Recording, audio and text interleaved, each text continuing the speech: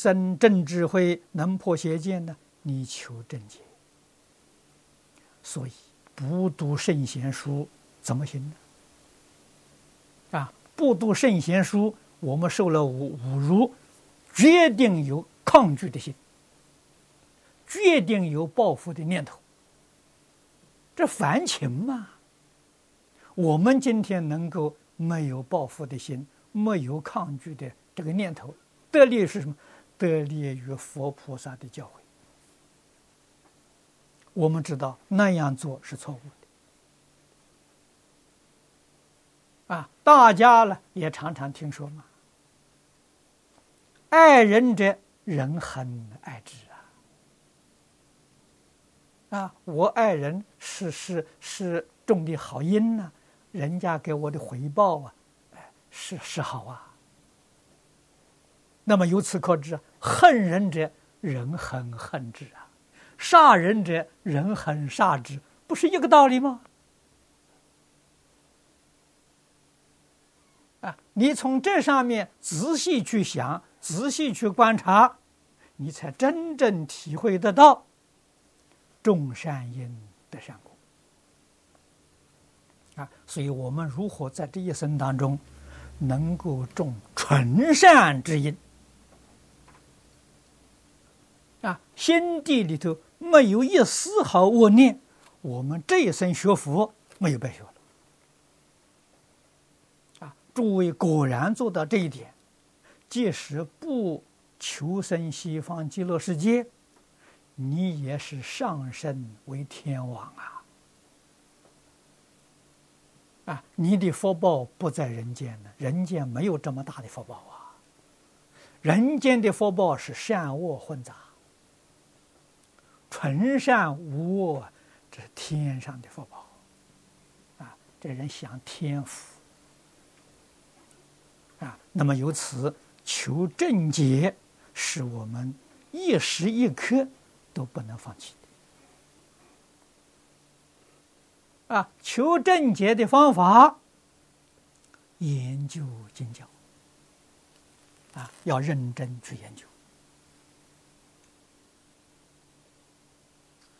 要与志同道合的同学们讨论圣教，讲解圣教，这样对于我们才会有进步啊！啊，对于经典里面字字句句啊，越深入。越圆融啊，结得透彻，结得圆融，把它落实到我们自己生活上，我们的生活圆满了；落实到工作上，我们的工作圆满。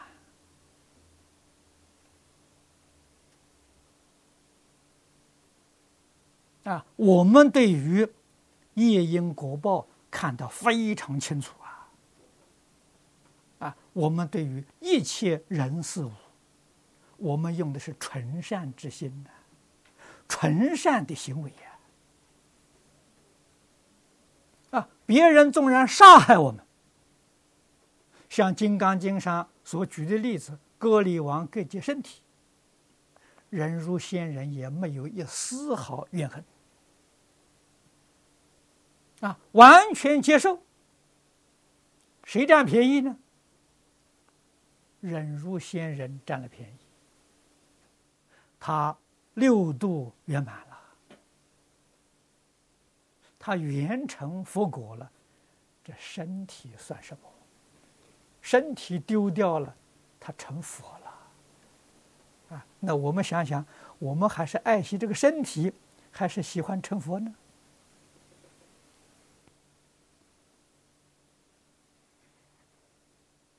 啊，如果条件就那么简单，这个身体毁灭了的时候就成佛了，那我这个身体很愿意马上毁灭，用什么方法毁灭我都欢喜。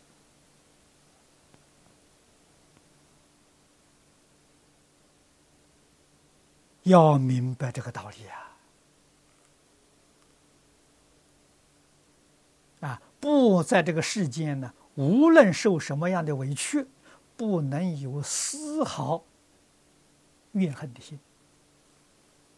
啊，一定要做到一切顺境逆境、恶缘善缘，真正做到不起心、不动念、不分别、不执着，这是正知。在境界里头起心动念，邪见；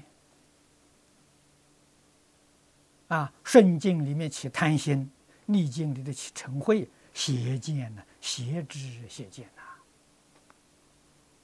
啊，善因善果，恶因恶报，一定要清清楚楚、明明白白。啊，我们从这个地方才真正建立对于圣教的信心。对于自己修学的信心，啊，对于老师指导的信心，啊，有这样的心态来读经，你才能够啊了解经典里面的意趣，啊，正是《开经记》上所说的“愿解如来真实意”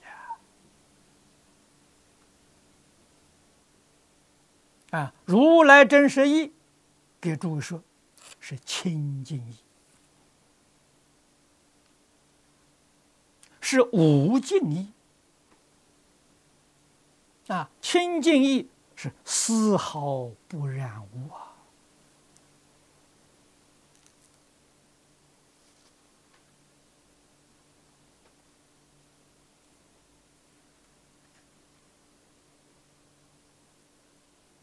啊，我们明白这个，所以求正解就比什么都重要。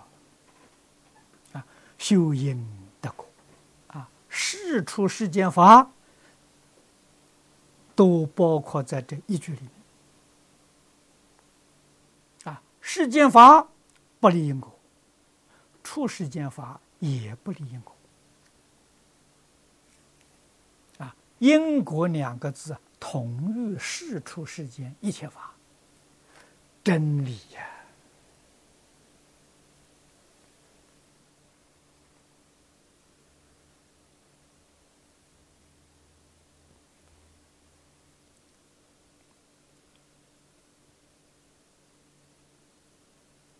佛法里头有所谓：“万法皆空，因果不空。”啊，过去我遇到不少的同修。提出这句话来问我：啊，因果在不在万法里面？当然在万法。那么万法皆空，为什么因果不空？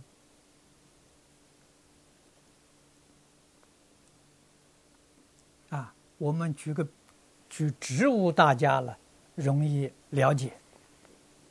啊，譬如一棵桃。桃核是因呐，种到地下了，两三年它就长成桃树了，又结桃了。